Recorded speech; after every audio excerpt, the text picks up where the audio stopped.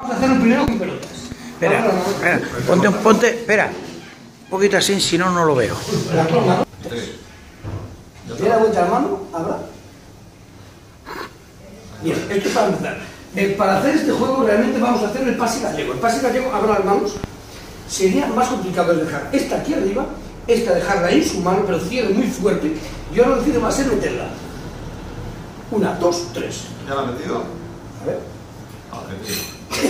No, pero lo curioso es que yo, para hacer esto, lo que te hizo son tres pelotas. ¿Ves? Ahora de pelota. Claro, y con tres simplemente lo que hago es una me la guardo en el bolsillo, otra me la dejo en la mano y la tercera me la guardo en el bolsillo cuando esté en la mano. Tienes dos ahí. Bien, no, cuatro. Ah, cuatro, ah, cuatro. Ah, Y eso porque tengo una de repuesto. O sea, imagínate que yo una me la guardo en el bolsillo, otra me la dejo en la mano y esta la dejo aquí. ¿Cuántos tengo? Tienes dos aquí y uno en la boca. No, no, no. Yo, yo te lo explico, Manuel. Una me la guardo en el bolsillo.